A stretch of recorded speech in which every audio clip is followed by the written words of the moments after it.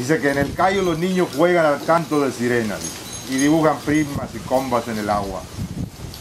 Los ambulantes extienden su atarraya y van dando bofetadas en el aire.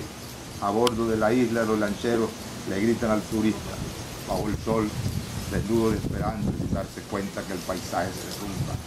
Cancún vacila el punto, Tunileño se lamenta al reflujo de la tarde. Garrafoneaban los peces de colores. No sé si vivirán en estas mismas aguas. En el Cayo sigue nadando la muerte sin cabeza. Coño, aquí solo los, la- solo los pendejos se lamentan. Bravo.